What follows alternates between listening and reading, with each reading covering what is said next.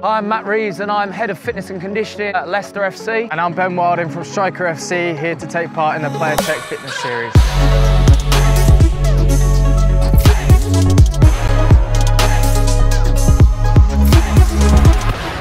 So this drill is called Colour Run. You're surrounded by four poles, reacting off my audio cue each time. Loads of changes of direction, nice and powerful, finishing off with a 20 metre acceleration.